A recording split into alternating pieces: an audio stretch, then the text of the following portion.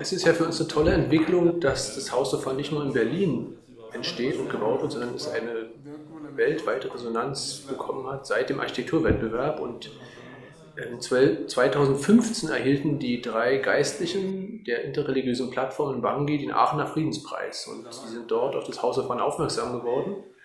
Und es entstand der Wunsch, dass auch dort in Bangui ein solches, eine Art House of One gebaut wird. Und das ist für uns natürlich eine tolle Kooperation.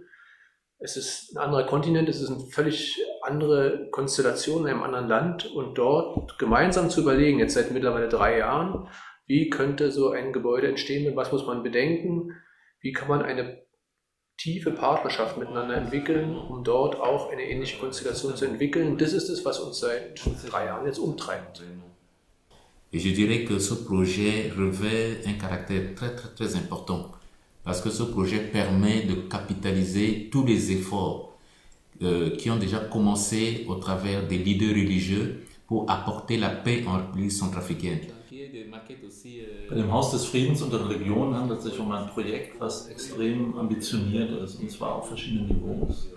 Äh, nicht nur, weil ähm, die Zentralafrikanische Republik sich im Bürgerkrieg befindet und äh, es vermessen erscheinen mag, ausgerechnet dort jetzt ein, ein Gebäude zu bauen, sondern auch, äh, weil natürlich äh, ein Haus des Friedens, äh, so etwas gibt es eigentlich noch gar nicht auf der Welt. Und äh, es ist die Frage, wie so ein Haus überhaupt aussehen kann. Und dann stellen wir uns als Architekten natürlich verschiedene Fragen. Da geht es um die Typologien, da geht es darum, was soll dort stattfinden und wie kann dem in einem Gebäude Ausdruck verliehen werden.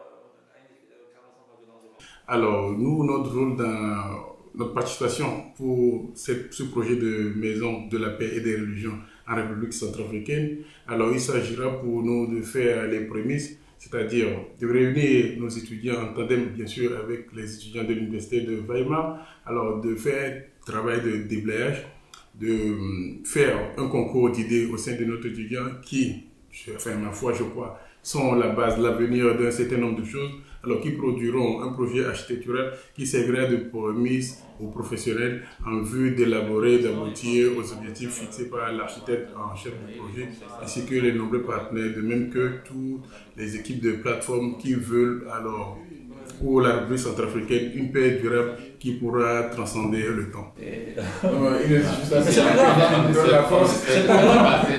Ja, also das ist natürlich ein Prozess, äh, den wir in Kooperation machen zwischen den beiden Universitäten äh, von Weimar und Lomé. Und das Besondere ist, dass wir das von Weimar, da könnten wir alleine nur scheitern, weil wir natürlich als Außenstehende kommen und äh, gar nicht wissen, was sich tatsächlich abspielt im Land. Und äh, die Universität von Lomé, das ist dort, wo man, wenn man aus Zentralafrika kommt, studiert.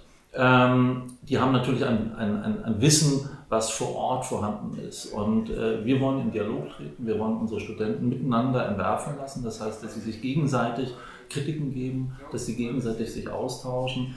Alors je tiens à le souligner encore une fois de plus. Alors l'avenir appartient toujours aux jeunes et je me réjouis que ce projet rentre pas cette porte des jeunes en vue de promouvoir, d'impulser ce que l'on veut concrètement comme projet, comme projet de paix en République centrafricaine.